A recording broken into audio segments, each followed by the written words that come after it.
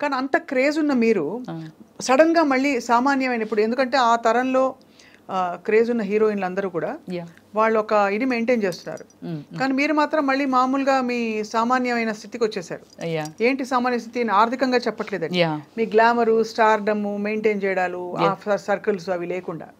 కారణం? అంటే కారణం ఏమీ లేదండి. పొలిటికల్ అంటే నాకు కొందరు పెద్దలు చెప్పిందని కాదు కానీ డీసెంట్గా ఉండాలి తర్వాత నానకూడదు. ఆ, వర్డ్ అది అదే అనుకుంటాను. అది ఉంది. అయితే ఇంకోటి నేను చెప్తాను. ఆత్మ సౌందర్యం లేనిది ఆత్మశుద్ధి లేనిది శివ పూజలు ఎలా? మనల్ని మనం శుద్ధిగా ఉంచుకున్నప్పుడే కదా ఎదుటి వాళ్ళని ఇప్పుడు నేను గ్లామర్గా ఉన్నాను. ఆవిడ స్లీవ్లెస్ వేస్తుంది అనేది. దీనికి ఎగ్జాంపుల్ మీకు చెప్తాను. యుఎస్ఏ ఒక ఈవెంట్కి వెళ్ళాము. ఈవెంట్కి వెళ్తే అట్లాంటాలో అంటే అప్పటికే ఎప్పటి నుంచో రమ్మిశ్రీ ఎందుకు అలాంటి బట్టలు వేసుకుంటుందని అంటుండేవాళ్ళంట. ఐ డోంట్ నో నాకు అంటే అక్కడికి వెళ్ళాక కానీ ఆ మ్యాటర్ మనకు తెలియదు కదా. సో తర్వాత అంటుండేవాళ్ళంట. చాలామంది ఏమనేవాళ్ళంట ఏ బట్టలది ఏముంది? ఇక్కడ మనం వేసుకోవట్లేదా? మనం ఉండేది ఏ కల్చర్లో ఉన్నాం? ఇది దుబాయ్లో విన్నానండి. యుఎస్ఏలో విన్నాను. ఈ రెండు ఈ వర్డ్స్ సేమ్ వర్డ్స్. ఎప్పటి నుంచో తీసుకొద్దామని అనుకుంటున్నారు కానీ ఆవిడ చాలా ఫాష్ ఉంటుంది. బట్ ఎక్కడ ఫాష్ ఉంటాను స్క్రీన్ మీద. నేను వెళ్ళిన తర్వాత అక్కడ ఎలాగ మా వాళ్ళు ఒప్పేనేనండి అదండి ఇదండి అప్ప ఏమి డీసెంట్ ఉన్నారు రమ్య గారు మీరు? అని అంటే ఒక ఆయనండి అందరి ఉన్నాం డిన్నర్ చేస్తున్నాం. ఆయన అన్నారు చీర కట్టిన ప్రతి ఆడది పతివరిత కాదు. వాళ్ళ డ్రెస్సింగ్ దీన్ని పెట్టి ఎవరిని ఎప్పుడు అంచనా వేయకూడదని అందరి మధ్య ఆయన మాట్లాడారు. గ్రేట్ అవును. డైరెక్ట్గా నన్ను ఉద్దేశించి ఇంకోళ్ళు ఉద్దేశించి కాదు. నా వర్షన అల్లో ఉంది. ఏది? ఎప్పుడో. కానీ అది ఆయన అప్పుడు ఓపెన్ చేశారనమాట అలాగా. సో అలా అంటే ఏమిటంటే ఒక డ్రెస్సింగ్ని పెట్టో లేకపోతే ఏదో పెట్టి నేను చేసిన సినిమాలు నేను ఒకటే చెప్పాను. నేను బిఎఫ్లు చేయలా. నాకు ఆఫర్లు వచ్చి నేను చేయలా. వచ్చాయా ఆఫర్లు? అయ్యో! నేను చెయ్యను. లాయర్ని పెట్టి మరీ వాయించాను తెలుసండి. చాలా ఫోర్స్ ఉండేది నా మీద. ఎవరు ఫోర్స్ చేసేవారు? షూట్ చేసేవాళ్ళు. ఎవరైతే దానికి స్పాన్సర్స్ ఉంటారో ఇదంతా ఉంటుంది కదండి. అంటే చాలా లాంగ్వేజెస్లో చేశాను కదా. బాగా స్ప్రెడ్ అయ్యి వరల్డ్ వైజ్ స్ప్రెడ్ అయ్యాను నేను. సో ఇలా నేను అవాయిడ్ చేస్తే నేను ఒక- ఒకటే చెప్తాను. Cinema. Any profession any profession. దాన్ని మనం ఒక డాక్టర్ అవనియండి లేకపోతే యాక్టర్ అవనియండి ఇంజనీర్ అవనియండి ఒక బిల్డింగ్ సివిల్ ఇంజనీర్ బిల్డింగ్ కట్టాలని అంటే తన అయ్యో ఎంతో మంది ట్రావెలింగ్ ఎన్నో ఇయర్స్ ఉండాలనేది తన మొత్తం అంతా తన టాలెంట్ అంతా పెట్టి చాలా నిజాయితీగా చెయ్యగలిగితేనే లేకపోతే ఎందరో ప్రాణాలు పోతాయి. ఇలాగేమిటంటే నా ప్రొఫెషన్లో నేను వచ్చానండి ఒక డైరెక్టర్ డ్రీమ్లో దిస్ ఈజ్ ఒక కాన్సెప్ట్ ఈజ్ వన్ ఫ్యామిలీ. ఒకరు ప్యాంట్ వేస్తారు ఒకరు చీర కడతారు ఒకరు షార్ట్లు వేస్తారు. Different different concept is story. అలా మీరు వేసిన క్యారెక్టర్స్కి చాలా చోట్ల మీరు కొన్ని ఎక్స్పోజ్ చేసే బట్టలు వేసుకున్నారు. వేసుకున్నాను. ఇప్పుడు అదే అంటున్నాను నాకు డైరెక్టర్ అనే ఒక ఆయన కాన్సెప్ట్ అండి. చిరంజీవి గారైనా సరే కొన్ని సినిమాల్లో గోచి పెట్టుకొని పరిగెట్టారుగా అవసరమైతే? అంటే అడవ అడవ మనిషిలో గా గో- చిన్న ఈ కట్టుకొని పరిగెట్టారు. ఎనీ వన్ దాన్ని నమ్ముకొని కలామ తల్లిని నమ్ముకొని వచ్చాము కాబట్టి బట్ వాళ్ళకి ఏం కావాలని ఇన్పుట్ మనం ఇవ్వాలా వద్దా? అంటే ఖచ్చితంగా బట్ మీరు ఎక్కడ ఫీల్ అయ్యారు? అంటే ఫీల్ కాకుండా మొహమాటం లేకుండా ఇబ్బంది పడకుండా. ఆ బట్టలు వేసుకున్నప్పుడు క్యారెక్టర్స్ చేసినప్పుడు ఎప్పుడు అనిపించలేదా? నాకు అనిపించలేదండి. అస్సలు అనిపించలేదు. దేన్నైతే నమ్ముకొని వచ్చానో ఈరోజు పుయిద రమేశ్రీ అంటే మా అమ్మ నాన్న కడుపుని పుట్టి నేను అక్కడే ఎవరినో పెళ్ళి చేసుకొని ఎక్కడ ఉండుంటే హూ? అంతే కదా? ఎవరికి తెలుస్తుంది రమ్యశ్రీ ఎవరు అనేది ఎవరికి తెలుస్తుంది? ఖచ్చితంగా అంటే నేమ్ ఫేమ్ కోసం బట్ అయినా కూడా ఒక పెంపకం ఒక వాతావరణంలో పెరిగినప్పుడు మీరు అన్నట్టు సినిమా ఇండస్ట్రీ. లేకపోతే నేను రాను. తప్పకుండా ఇబ్బంది పడతారు. ఇబ్బంది అయినా సరే ఇష్టంగా చేశాను. ఎంతో మంది డైరెక్టర్స్ అన్నారండి. అసలు యాక్టింగ్లో కూడా కోఆపరేషన్ చెయ్యరు రమ్య గారు ఒక క్యారెక్టర్ మీకు ఎక్స్ప్లెయిన్ చేస్తే. అది సిల్క్ స్మితాన్ని చూసాం మిమ్మల్ని చూసామండి. ఆ క్యారెక్టర్ని ఎలా మోడ్ చేసేసుకోవాలి ఎలాంటి డ్రెస్సింగ్ వేసుకోవాలి ఎలాంటి మేకప్ వేసుకోవాలి. మేకప్ సిల్క్ స్మిత్ అది ఓన్ కాదు. కానీ everything is myself only. Costume design నేనే కలర్ కాంబినేషను నేనే. అన్నీ మొత్తం డిజైన్ చేసేసుకునేదాన్ని ఓ ఈరోజు సీన్ ఏమిటి? ఏ ఎవరెవరు ఆర్టిస్టులు బ్యాక్గ్రౌండ్ ఏముంటుంది? ఆ బ్యాక్గ్రౌండ్లో ఓ నేను ఈ కలర్ చీర కడితే నాకు ఆ- కలర్ చీర పంపించేయండి. అలాగే కాస్ట్యూమ్ డిజైన్లు కూడా.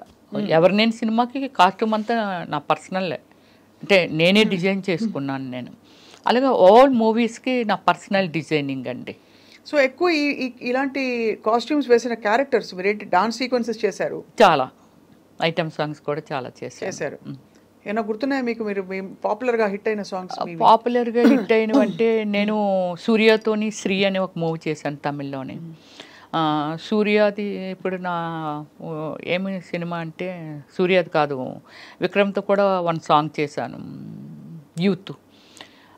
యూత్ చేశాను రోజుకో రోజా చేశాను తర్వాత వాళ్ళందరూ మీతో?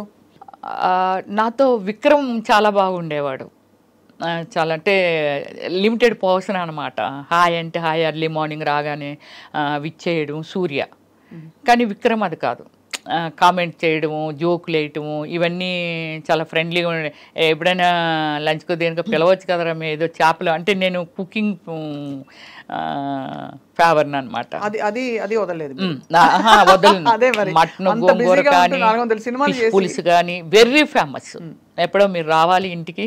నేను వెజిటేరియన్ అండి.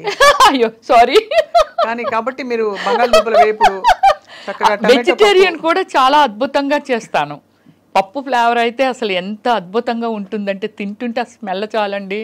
అంట తప్పు పప్పు టమోటా కానీ ఎనీ లీవ్స్ యాడ్ చేసి కానీ చాలా బాగా చేస్తాను. గోంగూర పచ్చడి పచ్చి పచ్చడి ఇలాంటివన్నీ. కంప్లీట్గా జీవితాన్ని ఎలా స్ట్రా వేసి పీల్చేయాలో అన్ని మీరు అంతేగా? కానీ చాలా మంది చెప్తారు స్వప్న గారు మీరు స్క్రీన్ మీద చూసిన రమ్య గారికి ఇన్సైడ్ మీరు అంటే అవుట్ సైడ్ మీ అంటే బయట చూసిన రమ్య గారికి అసలు సంబంధం కూడా ఉండదు. మీరు చాలా homely and exactly cinema time వరకే సినిమా. సినిమా వదిలిస్తే నాకు ఏ లైఫ్ తెలియదండి పబ్ లైఫ్ తెలీదు. ఫ్రెండ్స్ సర్కిల్ లేరు లేరు. తాగడం అలాంటివి ఏమి అలవాటు ఏమీ లేదండి. అంటే ఇవన్నీ టిపికల్గా సిల్క్ స్మిత గారిని కలిసారా మీరు? లేదు. అప్పటికే నేను వచ్చేసాను నైన్టీ సెవెన్లో కదా నేను వచ్చాను. అప్పటికే ఆమె అవుట్ అయిపోయారు. అవును కదా అవును కరెక్ట్. నైన్టీ సెవెన్ అంటే. కరెక్టే. మరి ఎవరెవరిని కలిసారు మీ కంటెంపరీస్ మీ నేను సౌందర్య గారితో వర్క్ చేశాను రమ్యకృష్ణ గారితో వర్క్ చేశాను. సౌందర్య గారితో నేను సౌందర్య గారు అంటే ఇక్కడ తెలుగులో చేశాము. కన్నడలో ఆర్యభట్ అని నేను సెకండ్ హీరోయిన్ నాకు అవార్డు వచ్చింది. తనకు రాలేదు. నాకు వచ్చింది అవార్డు సో ఆర్యభట్ అని రమేష్ అరవింద్ హీరో అన్నమాట. తను ఇట్స్ లైక్ శ్రీకాంత్ మనకి ఎలా హీరో? అలా సతీ లీలావతిలో చేశారు కదా. యా సో ఆయన ఆయన మూవీ అనమాట చాలా మూవీస్ చేసాం. ఒక సిక్స్ సెవెన్ మూవీస్ చేసాం. చాలా ఫ్రెండ్లీగా ఉండేది.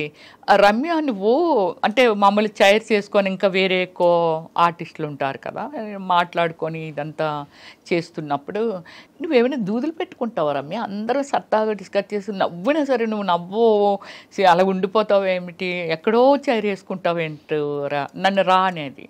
ఎక్కడో చైర్ వేసుకుంటావేంట్రా అనేసి అని నేనేమి దూదులు పెట్టుకోను. కానీ మ్యాటర్ నాది కాదు కదా సబ్జెక్ట్ నాది కాదు అంటే నాతో మాట్లాడో లేకపోతే నా గురించి మాట్లాడితే వింటాను. ఎవరి గురించో మాట్లాడుతున్నారు కాబట్టి అది నాకు సంబంధం లేనిది కదా. అలా నాకు అలవాటు అయిపోయింది ఫస్ట్ నుంచి నేను అంతే ఎవరి మ్యాటర్లోకి నేను దూరను. ఎనీ పాజిబిలిటీ స్వప్న గారు చాలా వరకు అయ్యో పాపం అనే హార్ట్ ఉంది నా దగ్గర. అయ్యో పాపం ఇలా అయ్యిందా? అయ్యో మనకి అంటే నాకు లక్ష రూపాయలు వచ్చింది అనుకోండి. చాలా ప్లేసుల్లో నేను ఇది స్టేట్మెంట్ కూడా ఇవ్వడం జరిగింది. నాకు ఒక వన్ ల్యాక్ వచ్చింది. Ten thousand is nothing. ఇంకా నాకు నైంటీ థౌజండ్ ఉంది. ఆ టెన్ థౌజండ్ సాక్రిఫికేషన్ చేస్తాను. ఏమి చెయ్యి ఏమి చెయ్యాలి? దేనికోసం యూజ్ చేయాలి? ఏమిటి అనేది. సో మీకు ట్వంటీ సెవెన్ కంట్రీస్ తిరిగాను నేనైతే. ఎంత హైయెస్ట్ రెమ్యూనరేషన్ ఎప్పుడు అందుకున్నారు ఆ, నేను హైయెస్ట్ రిమ్యునరేషన్ అయితే ఆర్యభట్టకండి దానికి అందుకున్నాను. దానికి వచ్చి ఫిఫ్టీన్ ల్యాక్ ఇచ్చారు నాకు. తర్వాత అన్ని ఐటమ్ సాంగ్ చేస్తే టెన్ ల్యాక్ టెన్ లాక్స్ కూడా? వావ్ సో అయితే మీరు దాన్ని కెరియర్గా మలుచుకుని దాదాపు వెళుతున్న టైంలో మళ్ళీ మీకు మీరు చాలా మంది కమెడియన్స్ పక్కన వేశారు. బ్రహ్మానందం ఆల్ కమెడియన్స్ ఆల్ కమెడియన్స్తో సుమన్ శెట్టితో కూడా చేశాను నేను. ఎలా ఉండేవారు? అందరూ అప్రిషియేటివ్గా అందరూ నాకు ఎల్బి శ్రీరామ్ గారు నా సినిమాలో కూడా చేశారు కదండి. సో లైక్ ఒక ఫాదర్ లాగా అనిపించేవాళ్ళు. బ్రహ్మానందం గారు. బ్రహ్మాన అందరికంటే బ్రహ్మానందం గారితో చాలా ఎక్కువ హేమ గారి కంటే నేను ఎక్కువ చేస్తుంటాను బ్రహ్మానందం గారితో. బట్ నేనేమిటంటే అంటే అందరికీ తెలుసు చాలా లిమిట్లో ఉంటుంది. ఏ రా అమ్మాయి ఎలాడ పోదాం రావచ్చు కదా సరదాగా అని అన్నారనుకోండి. నేను ఏదో ఒక పని పెట్టుకునేదాన్ని. అంటే వేరే మనకి. మీతో బ్రహ్మానందం గారు కానీ "ఏ, అలా రూమ్లో ఏం చేస్తావు? షూటింగ్ చేసి వచ్చి రావచ్చు కదా? సరదాగానా అలా అంటే సార్ నాకు ఇలాగా మాకు తెలిసిన వాళ్ళు ఉన్నారు ఇప్పుడు నన్ను ఏమి కొట్టరు. అలాగే నేను సఫర్ అయింది బాబు మోహన్ గారితో కానీ సో అంటే వాళ్ళకి అర్థమైపోయేది. ఒక త్రీ డేస్లోనో ఎప్పుడో వన్ డే అంటే ఏదో చెప్పొచ్చు. థర్డ్ డేస్ అలా ఉంటాయి కదా? వాళ్ళకి అర్థమైపోయి ఉండేది. ఏ- ఈ అమ్మాయి కావాలని అవాయిడ్ చేస్తుంది.